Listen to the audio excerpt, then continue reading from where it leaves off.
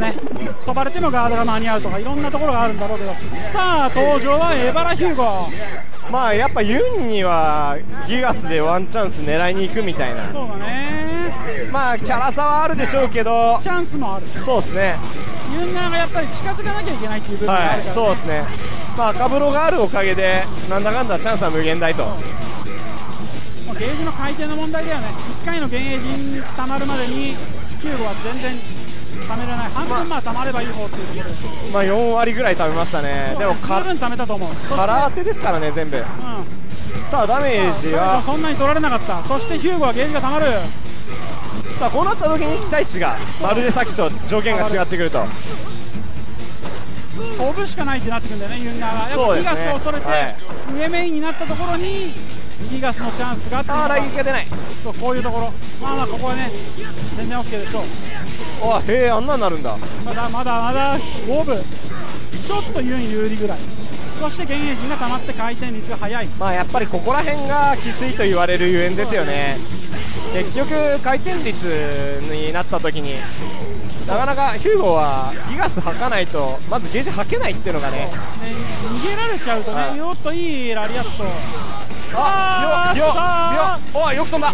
あここは魂のギガス。ス魂のギガス。ムーンか。ムーンだった。ムーンでしっかり割り込んでいく。さあゲージ発動。ただここはワンチャンあるぞ。まああしのいだやるうまいなやっぱり。しっかりガードが硬い。さあこの中パンチとはね中あの中パンチと中パンチで相打ちになった時にダメージ間違いが激しいですよね。9号側ねやっぱ相打ちになると美味しいしいけど。さあこれは打開タイプ。入らない。さあ壊しをすかしていくが。さあユンとうわうますぎる。裏に出るシュートおーシュートダウンいったけどまあ今のはギガス読みで飛ぶやろっていうシュートでしたそうそうそれをやったけどねもターゲットが当たったね逆に。さあここはユンはゲージを貯めるまではまあいかない。そしてこうなるともうギガス圏内なので正直何が起こってもおかしくないね。おかしくない。その幻影陣を。ワッパさんもやっぱり安易にはいかないですよね。ねやっぱいけない。